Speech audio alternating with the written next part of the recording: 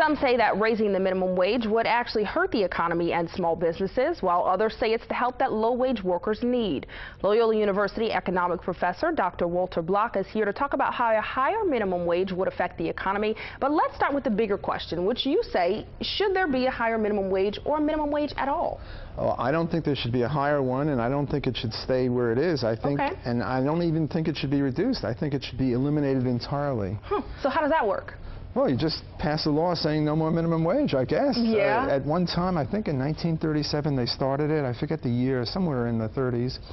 And before that, we didn't have any. So I say let's turn back the clock and go back to a situation where there was no minimum wage. Hmm. And do, are you afraid that low-wage workers would get paid even less than they're paid now? No, I'm not afraid of that at all. What I'm, uh, what I'm happy about is that all the unemployed workers who are unemployed by it will now get jobs. See, the minimum wage law is not an employment law. It doesn't raise wages. It's an unemployment law, and it creates unemployment. Look, minimum wage law just says, let's say the new one, $10 an hour. Okay, yeah. It says that if you hire me, you have to pay me 10 bucks an hour. Mm -hmm. Does it say you have to hire me? No. No. Ah. It doesn't say that anyone has to hire anyone. It just says if you hire me, you have to pay me 10 bucks an hour. But suppose I'm only worth $9 an hour, in the sense that if you have me, you'll get $9 an hour more in your bottom line for every hour you got me. Mm -hmm. But you got to pay me 10. You going to hire me? Not if you don't want to pay you $10 an hour. Well, you're going to have to pay me 10, otherwise you go to jail. Right. but you don't have to hire me. Right? Mm -hmm. But if you hire me, I'm only worth 9 to you. I'll only add 9 to your bottom line. But you'll have to pay me 10, so you lose a dollar an hour. Mm. And if you're a profit-seeking uh, entrepreneur, you're not going to very ha be happy with that. And also, if you do it, you're going to go broke, and then mm. you're not going to be able to hire anyone. So if a $10 an hour minimum wage will unemploy $9 an hour people, people with productivity of $9 an hour. Mm -hmm. Well, our present one is 725. What does that do to someone who's worth only $6 an hour? Now, who decides what someone's worth?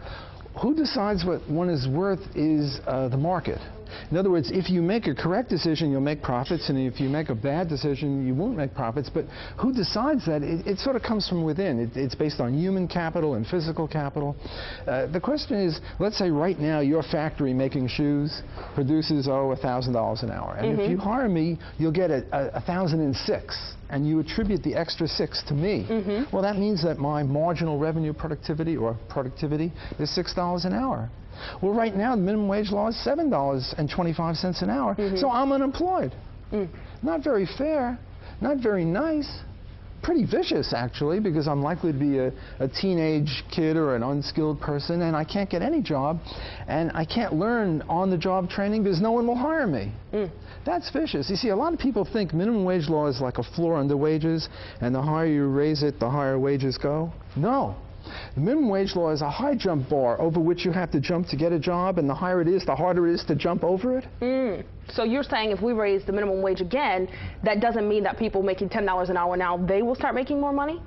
If we raise it again, say from 725 to 10, mm -hmm. then all the people from 725 to 10 right now right. will lose their jobs. Mm not in one second, but eventually they'll all lose their jobs if nothing else changes. So it's a vicious, depraved, immoral law. It's really, it attacks the, the weakest economic actors in the whole society uh, it's just preposterous and horrible, and, and, we shouldn't have it because it's an unemployment law. It's not an employment law.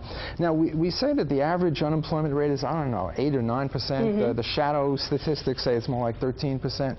But if you look at the uh, uh, smaller segments of the, the labor market, uh, look at unskilled workers. Like, for example, uh, adults are more productive than kids because they've got more experience. Mm -hmm. The unemployment rate of kids is twice adults. Mm. The unemployment rate of black people is twice as high as uh, white people because for various historical reasons, black people have lower productivity on average, on average. And the unemployment rate for blacks is twice what it is for whites. And if you add it both together, the unemployment rate for black teenagers is quadruple. Mm. It's vicious. It's up in the stratosphere, 40, 50, 60 percent. And it's really even higher, except for the discouraged worker phenomenon. That is, when you stop looking for a job, they don't count you as unemployed anymore. Mm -hmm. So if they counted that, the unemployment, it's horrendous. So what do you say about low-wage workers who are saying, I cannot live off this $7.25 an hour? Well, which is better, zero or 7.25 an hour?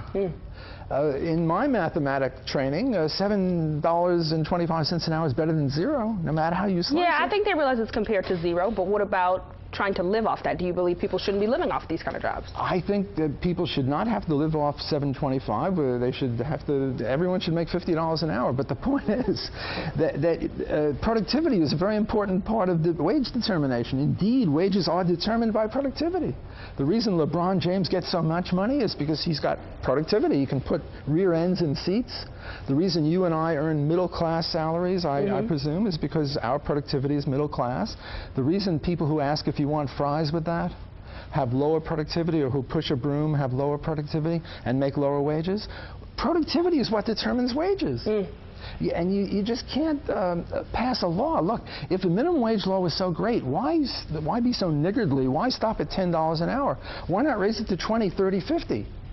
Then, according to this theory, we'd all be rich with a stroke of a legislative pen. I mean, Obama says he's got a pen and a telephone.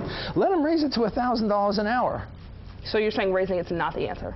raising it not only is raising it not the answer, but keeping it is not the answer. If the, if the question is how do we stop unemployed of uh, disadvantaged workers, the thing to do is is to eliminate it entirely. And, And so you say more people will have jobs, absolutely more people will have but jobs. But some of them could be making $6 an hour. Six dollars an hour is better than zero. Right now they're making zero. Don't tell me zero is so good. When you say, well, how can you live on two dollars an hour?